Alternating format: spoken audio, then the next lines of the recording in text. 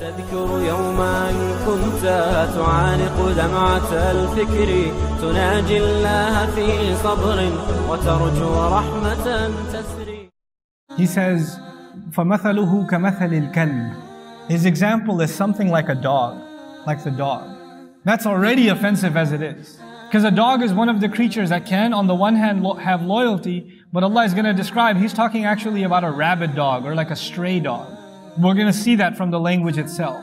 Now, a str- this dog that Allah describes, and you know, in the Quran, you get other examples of people and they're compared to animals. Like the Israelites who didn't do right by their book, they were compared to mules. كَمَثَلِ الْحِمَارِ يَحْمِلُ أَسْفَارًا They were compared to mules. But this person, even worse, they're being compared to the dog.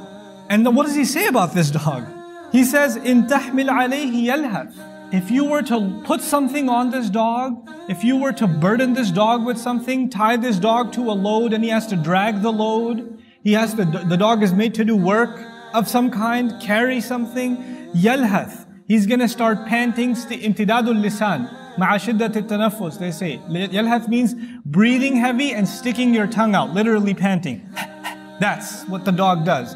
When, does, when someone stick, when an animal sticks its tongue out and it's panting heavy, it actually means that it's exhausted.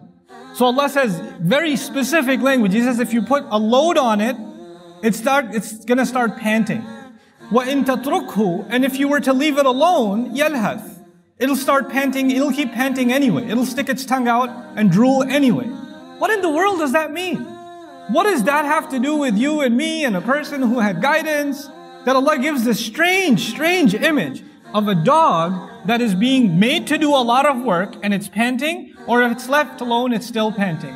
The idea of, of lahath, of panting, is actually a kind of disturbance. A creature, a human being, any animal doesn't pant until they're disturbed, overwhelmed, bothered, unsatisfied, thirsty. This, this is the image of someone that's unsatiated, unfulfilled. And so our ulama commented exhaustively on this, the use of the word hamal, to load onto it, to put a responsibility on it, is used in the Quran for revelation. This person becomes like a dog. When they hear about the religion now, they start getting bothered. Like, this is a religious person, this is a person who knows about the deen, but since they've shed away from it, now even when they hear a reminder about what's, what's, you know, what's right and wrong in their faith, internally they don't like it anymore. They're bothered by it.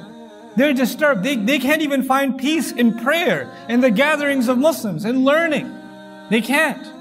And so they want to get away from this company and they want to slither away to some dark company, some bad environment. But when they go there, of course, they're still disturbed. They were hoping they could leave this place and find peace somewhere else. They don't find peace.